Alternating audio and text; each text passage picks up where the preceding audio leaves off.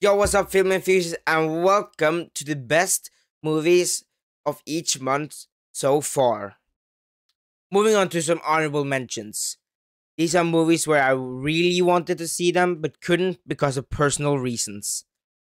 For my number one spot, I'm giving to this to Evil Dead Rise. I uh, saw the trailers and I think it was looking really good with the R-rated tone and scariness of this movie, and with the n- new kind of premise, not premise, but the new location with this apartment. I yeah, it looks really great. Now moving on to my number two. It has to be Air. I was not really excited for this movie at all, but I was um interesting it was interesting because um, I saw some some good positive reviews. That's why I really wanted to see this movie. Now moving on to my number three list. It's going to be 65. It was looking pretty great with the new uh, dinosaur movie set in the new world or Earth or anything. I don't really know. It was really, it was, yeah, it looked really good moving on to my number five on the list, number four on the list is going to have to go to Plane. I think it looks pretty great. I've seen some uh, good reviews, and yeah, it's just an action movie on a plane. What more can I say? It's looking pretty good. Now, moving on to my no- uh, last of my list on honorable mentions, it's going to have to go to Beau is Afraid. I think it. I, I think it looks alright uh, not the best movie or good movie, but I think it is was I think it's looking pretty great. And I've seen some mixed reviews about it and I don't really know why. I think it was looking pretty great. Now moving on to my actual review. April. I'm going to rank it from the worst to be- uh, best. So my number five list is Peter Pan and Wendy. Uh, it's just a generic old, I guess, IP, but yeah, just a generic Disney movie for me. Nothing really much to say about this movie. Now, number four on my list, it's going to has have to be The Pope's Exorcist. I love this movie the ending was pretty great and with the story and the new this is like the only exorcist movie i've actually seen like just act uh just exorcist movie. I've seen like conjuring but conjuring but that's not really like exorcist movie. Yes it's there's an exorcist in this movie spoiler alert i guess if you haven't seen it exorcist in that movie but I haven't seen a so uh, just one movie focusing on an exorcism, and I think this one was really great. Moving on to my number three on my list, I have Sisu. I like this movie. I think it was an interesting action war movie, but with the theme of World War II, I don't know why they made it unrealistic. And yeah, that's maybe just everything I can say about this movie. But I loved it actually. I I really liked it. You can actually watch uh, the channel Now moving on to my number two on my list, I have Super Mario Bros. movie. I love this. It is an Easter egg, nostalgic, everything, man. It's it has a great story, simple, great story. Visual effects are great. Uh, maybe the um pacing was a little yeah the pacing was fast but that's like kind of bad yeah kind of bad but yeah at the end of the day i love this movie now moving on to my number one for april i have renfield i love this movie. i think this was one of the greatest Dracula movie or vampire movies of all time. I haven't really seen any much uh, Dracula vampire movies in my life, but I saw this and I love Nicolas Cage as Dracula and Hoult as Renfield. It was great. Go watch my review on that on my channel. Now moving on to March. For my number five on my list, I have Shazam Fury of the Gods. I think this was this movie was uh pretty good. I liked the first movie a lot better, but it was all right. This movie, uh, with the okay, with an okay story and great characters, of course. Now moving on to my number four on my list, I have Dungeon and Dragons: Honor Among Thieves. I have no idea about any lore of the uh, the Dungeon and Dragons or anything. I just know that there's probably Dungeon and Dragons because of the title. No, no shit, of course.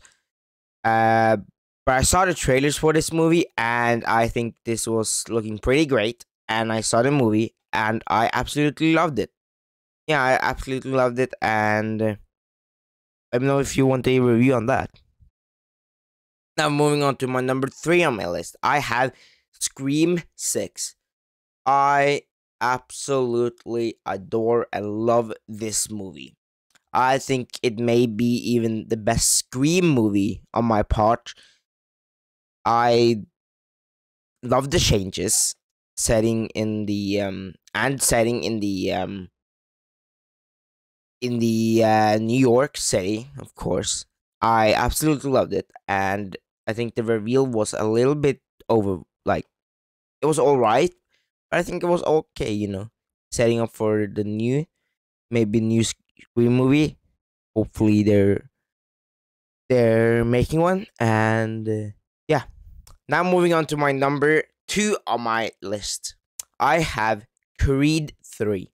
I like I said, I love this movie uh, I had no interest in boxing movies or any boxing things, but I saw the first two movies and I absolutely loved them.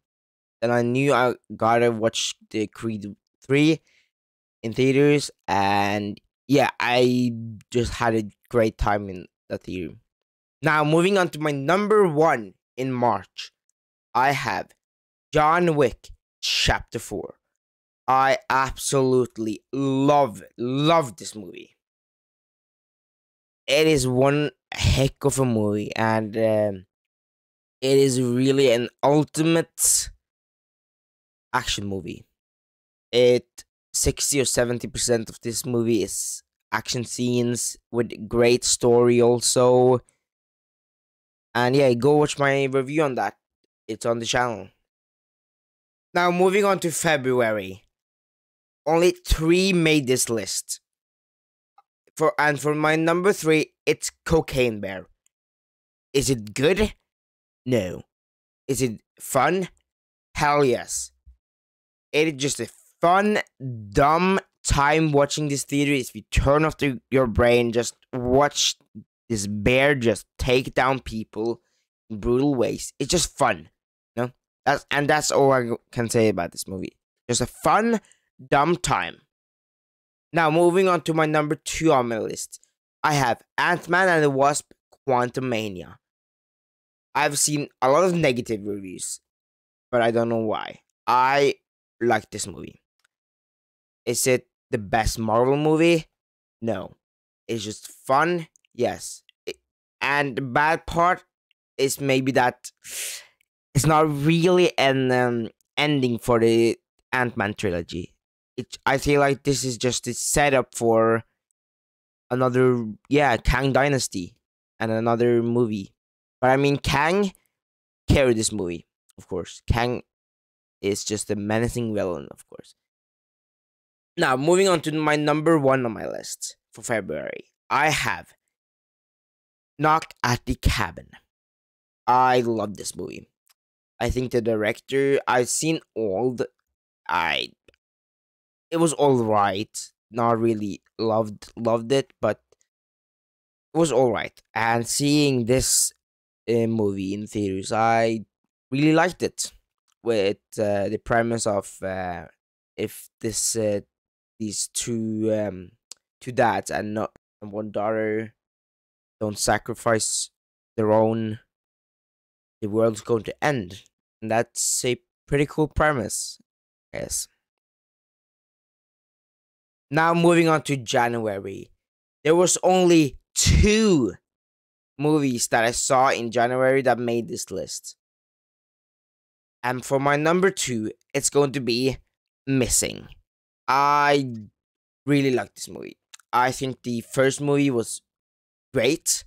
I think the first movie is better than this, but I like this new premise of just uh, of just seeing everything on a computer and uh, yeah, nothing really much to say about this movie. I loved it.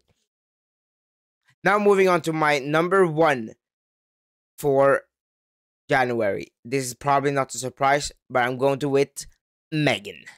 I loved this movie. The new Killer Doll Queen, I guess. I just had so much fun watching this video. I think the only bad part about this movie is that it's censored. If if you're going to make a um, killer doll movie, why not just keep the R-rated R-rated rating? And um, I'm looking I'm uh, I'm looking forward to the next movie coming out in 2025. Megan 2.0. I'm really excited for this one. Now that's just my ranking of the best movies in each month so far. Let me know your thoughts. Let me know which what movie did I miss. Did you like uh, some of? Did you dislike some of these movies? Don't forget to like and subscribe. Quick plug: I do videos every Tuesday, Thursday, and Saturday. So yeah, and I'll see you guys in another video. Bye.